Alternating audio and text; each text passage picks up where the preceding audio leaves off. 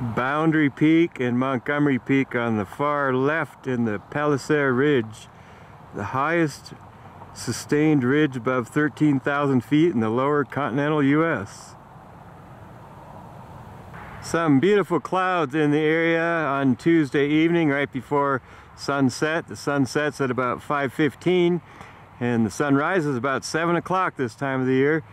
These clouds are kind of like prefrontal clouds of a low in the eastern Pacific that will spin some subtropical moisture into it and bring precipitation to most of central and southern California all the way through the weekend, possibly two feet of snow on Thursday and Friday. Lingering showers into the weekend, then a colder storm early next week. Believe it or not, I just heard a robin singing. And I bet they'll move south today because winter is on its way back. Don't let these clear skies in the west fool you. The first band of clouds has moved through the area on early Wednesday morning. And these clear skies will be followed by a winter storm warning that began this morning all the way through Friday morning. It is the last day of the first month of 2024, Wednesday, January 31st, 2024. Well, this unusual winter continues and changes today. Say goodbye to that spring-like weather. And all winter long, I've been hearing and seeing robins in the area. You know, robins flock up before they migrate south, but a lot of them have been staying in the area. I'm not really sure why or what that means, but say goodbye to this spring-like weather because here we go again. Winter weather pattern is back after several days of record-breaking high temps. A series of progressively stronger storms will work their way through the area, through the Sierra, starting tonight and continuing into early next week. It is the last day of the first month of 2024, Wednesday, January 31st, 2024. Hello everyone, I'm Dan McConnell. So the sun's coming up at 7 a.m. We finally broke that 7 a.m. mark and it keeps coming up earlier and earlier as time goes on. It sets at 5.20 p.m. And the Red Line movie tonight at 6 p.m. the doors open up at Mammoth Brewery. The Red Line, a story about people that the Sierra Crest from Mount Whitney all the way up to Mammoth. It's only been done once, maybe twice before. Doug Robinson was in the first crew that did it a long, long time ago, but that'll be a great movie tonight at Mammoth Brewery. It was 37 degrees in town this morning, 22 degrees at the top with south-southwest winds to 45 miles per hour as that band of clouds, uh, preliminary clouds to the incoming storm, uh, move through. And there's clear skies in the west, but don't let that fool you. We can look for increasing clouds and wind throughout the day.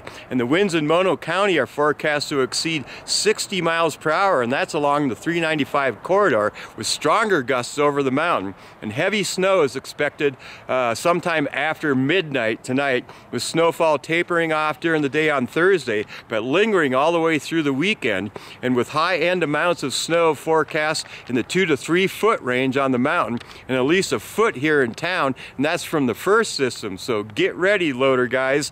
Uh, that's storm number one. Storm number two is expected to move into the area by Sunday with uh, both storms having subtropical moisture fetches and early probabilities of another one to three feet of snow with some uncertainty with that one. That's the second one on Sunday. So stay tuned for updates, but say goodbye to this spring-like weather as there is a winter storm warning through Friday morning and that's not what they wanted to hear for the Grand Prix competition. Today's the qualifications up on Mammoth Mountain. They'll probably try to get that in today, but they'll get snowed out tomorrow. That's pretty much a sure thing.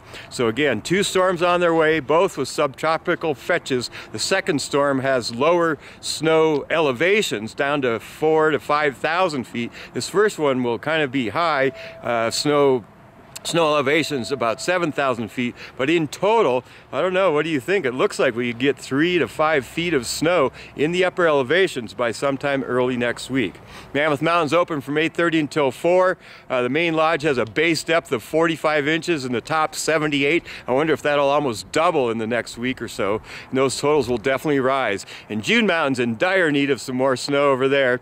And Tamarack Lodge, too, we went up yesterday cross-country skating, ski skating, and uh, Uh, up by the Pokonobe, Lake Mary area, there was actually some pavement snow showing. So this will be a welcome sight to get some more snow. Uh, Even if you wanted a mild winter, it's just not going to happen. You pretty much knew that would come along another wintry storm pattern. On this day in history in 1893, the trademark Coca-Cola was registered.